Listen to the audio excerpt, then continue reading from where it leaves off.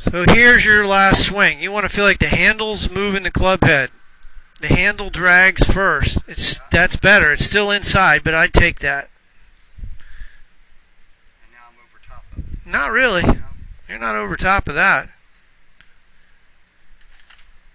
No, you're pretty good here. Handle in. That's not over the top.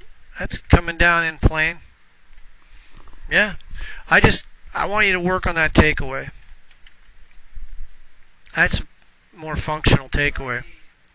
Balance, balance on my feet. Feet closer together. Slightly closer together, yep. Hand high, left hand high. Cock this wrist.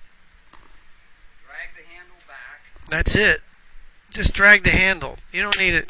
I mean, if if your hands are a little bit little bit higher at address, that would be helpful. Yep. How do I, once it's back to here, I just, how do I start my downswing? Don't even think. Uh, don't even think about it. You can't think about all, more than one thing in golf.